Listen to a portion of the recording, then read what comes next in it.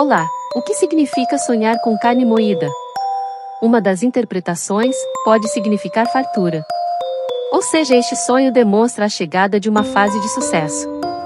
Você vai entrar num cenário de muita prosperidade e felicidade. Sonhar com carne moída remete fase de muita fartura. Sonhar com carne moída crua significa que você terá que trabalhar duro para conseguir o que quer. Mas será recompensado por isto no futuro. Sonhar com carne moída cozida significa que você está recebendo um aviso do futuro.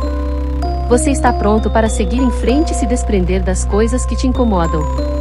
Sonhar com carne moída temperada significa está recebendo um aviso sobre a maneira como você se expressa.